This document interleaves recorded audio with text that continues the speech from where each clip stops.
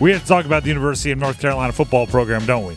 Uh, in losing to West Virginia last night in the Duke's Mayo Bowl, UNC looked like the team that cared less about the game, which I think is worse than anything we can we can talk about when it comes to the X's and O's. Now we we can talk X's and O's, and we can talk about how it looked like they got lost in the details, uh, and we can talk about how it looked like uh, you know they gave up too many big plays, too many momentary lapses of focus. Uh, we we can talk about it. But overall, I think it's much worse to just be the team that cares less about the game when you're when you're in the game. That cares less about the game once you're in the building. I completely hear what UNC fans are saying when they try to downplay the loss by saying, "Oh, you know, they had the, they had all the opt-outs, you know, we we had all the the players that were hurt and it was obvious everybody wasn't invested." And I'm sitting around going, "Okay. I get it. I do think that's a knock on your program, though. Choosing not to play a week before the game, like opting out two weeks before the game, three weeks before the game, that's that's one thing, right? That's a business decision when you are removed from the competition.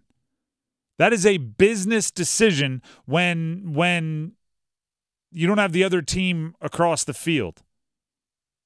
But being in the building, having the competition right there and not getting caught up in it is concerning. Their heart rate just stayed low. The Tar Heels' heart rate, eh, as they give up a 75 yard touchdown, is blink of a hat, right? Or blink of an eye, drop of a hat. As soon as the game got started, boom, big play. North Carolina was chilling. Special teams touchdowns, North Carolina was. You shouldn't be chilling in those situations. You're sitting there watching West Virginia run back the opening kickoff and going, "Dang, they scored already. Our defense hasn't even touched the field yet." It's it's. This is what we're dealing with here. Here's Mack Brown on his overall thoughts, the head coach of uh, of UNC. Overall thoughts on the loss. We knew to win the game, we had to uh, win the turnover ratio. We lost it three to one. Uh, we knew to win the game, we had to win the kicking game, and they had a punt return for a touchdown, and we just had one kickoff that was decent. And we actually had a, a punt bounce into one of our players, and it was one of the turnovers. Um, defense played the run pretty well. Um, their quarterback did a really good job of getting a couple of big plays in the passing game. I thought Conner competed. I didn't think we helped him enough. Uh, we didn't give him enough protection. Um, so um, felt like again, um, game should have been closer. You look at the, the stats, and game should have been closer than it was. But, but credit to them, it wasn't. Credit to them, it wasn't. Credit against you, it wasn't. Like, I don't. I understand, and I want to be clear on this. I understand that modern bowls that are not in the college football playoff, you're going to have to deal with the challenges of opt outs, transfer portals, coaching movement. You, there's nothing you can do about that. That's just the way it is. But the, the, the players that put on the uniform, the coaches that stand on the sideline during the bowl game, whether it's playing for pride, whether it's playing for another win, whether it's playing to audition for your job the next year or audition for your job somewhere else, like whatever the motivation is, as soon as the, the game starts, there has to be like your competitive instinct has to kick in. If you make a bowl game every year, what are we looking at? 52 games in your career? Yeah. You're just going to pass on one of those because your quarterback opted out? You're just going to say, ah, you know what? I'm, I'm, I'm going to chill because one of your position coaches took a job somewhere else. You're just going to say, I don't know. The tight ends didn't rush back from their injuries. So I'm just going to uh, sleepwalk through this one. There's a finite number of games you get to play in college. UNC looked like they wasted one. And and that is as big of a demerit on your as big of a black mark on the permanent record of your program as anything. I don't care if you're trying out all third stringers. Those third stringers should be scratching and clawing and fighting for for everything. One one of my favorite plays of the year, and I, by the way, I I don't necessarily uh, like have any reason to even be paying attention to Texas A&M. Texas A&M put out a, a, a kickoff team when they were up like 25 in a game of all walk-ons. Yeah. All 11 on the field were walk-ons and they flew down the field with reckless abandon, forced a fumble and recovered it and the place went absolutely bonkers.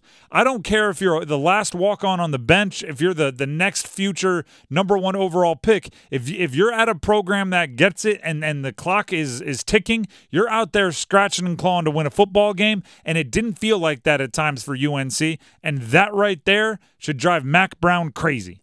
Now, going off what you just said, speaking of Mack Brown, how many times have we heard throughout this season, think about after the Virginia loss, the Mm-hmm. Georgia Tech loss, NC State loss, where Mack Brown has said, Mhm. we did not have them ready to play.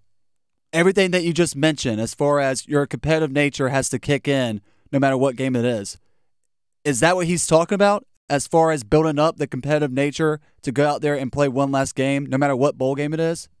Yes, and and you know when when I'll, I'll put it in this term. When Urban Meyer and by the way ready ready for a, a, story here. When Urban Meyer was with the Jacksonville Jaguars he was doing uh, a terrible job at being an NFL coach. Uh, but one thing he brought from his days in college was what he called like winners and losers battles or something like that. It's not winners and losers was something about it.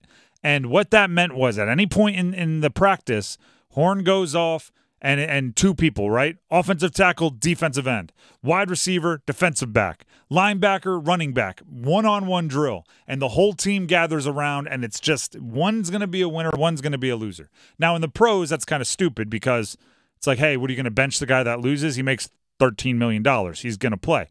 Uh, but in, in college, it's just to establish that your program and your players love competition. I didn't feel that from UNC in the in the the the Duke's Mayo Bowl. I didn't feel that they loved competition. Now, like I said, from a gameplay perspective, they got got by the details. Right, that that's where they got caught up. Conner Harrell, the the quarterback, wasn't quite on the same page with the offense as a whole. Maybe understandable in a guy's first start. Uh, special teams gave up multiple big plays, which is going to be a problem. Defense had lapses that led to big plays by West Virginia. It, it really was, you know, just momentary lapses. Some might say it was a communication thing. Mack Brown, after the game, was asked if there was a communication problem. No, in fact, uh, it was a, a great opportunity for us to uh, have the coach to quarterback communication and coach to linebacker safety communication. It's the first time we've ever done that, and uh, and I thought it worked pretty well. I mean, there were a few times that Conner would say, "Say it again," or, or something, but because we hadn't done it before. But I, I thought it helped. I thought the the fact that we used the uh, um, the uh, videos, the iPads on the sideline will be a great help in the future. We didn't get to practice that because we, we didn't have a setup for it at home or Providence Day um, in, in time. So I think all that will be a help. Um, the crowd is what it. And give, give West Virginia credit for their crowd. I mean, they, um, instead of talking bad about ours, I thought theirs was great. That, that was, uh, I was impressed. No communication problem, then it was just an execution problem. It's just a focus problem. It was. It wasn't. uh, To me, communication problems happen when guys are playing alongside guys they aren't used to playing. That's where, like, hey, Cedric Gray wasn't out there to organize things. There was a communication problem. There wasn't a communication problem, if that's the bill of goods you're trying to sell me, then it was an execution problem. And guys knew what they were supposed to be doing and weren't doing it. Or knew what they were supposed to be doing, they were trying to do it, and they weren't physically capable of doing it, which is a problem in and of itself. Should be I'd be pretty disappointed if I were a North Carolina fan. And I think that is is a sentiment felt around that fan base.